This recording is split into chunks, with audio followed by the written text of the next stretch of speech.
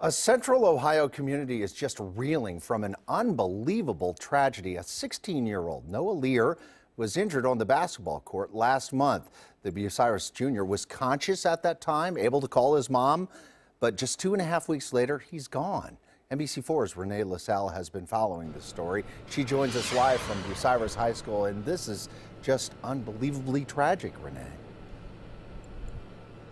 Dwayne, I can't even describe the impact on the community. Now, we first told you about Noah and his injuries online Monday, and since then, the story has literally spread around the world. A 16 year old severely injured in a freak accident just while playing basketball. Well, students and staff here at Bucyrus High School, they have been pulling for Noah's recovery, but early this morning, he passed away.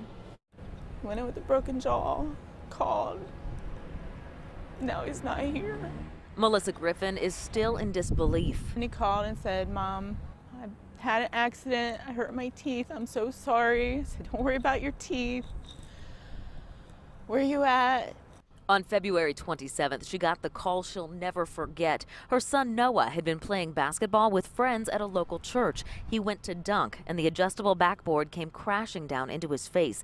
In the hospital, Melissa says he went into cardiac arrest and suffered a severe brain injury due to a lack of oxygen. We were so positive. We thought, you know, we're going to have Noah back. I don't know if it's the same Noah, but he'll be here with us. Noah was rushed to Nationwide Children's Hospital. For weeks, he was surrounded by love and care.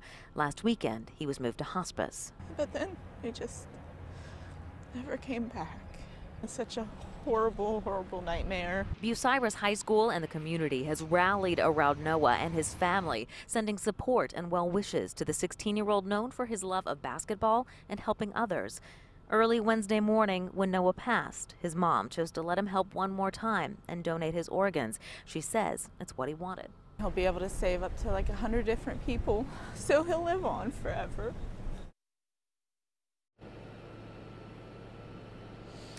Now, funeral services are here at Bucyrus High School on Sunday, and then on Monday, the, or excuse me, visitation is on Sunday. The funeral is actually on Monday. Classes have been canceled so that students will be able to attend. For times and also for how you can help, just head to our website, NBC4i.com. Then stick around for the 6 o'clock. We're going to take a look at the impact on the high school of Noah's injuries and his passing. Reporting live in Bucyrus, Renee LaSalle, NBC4.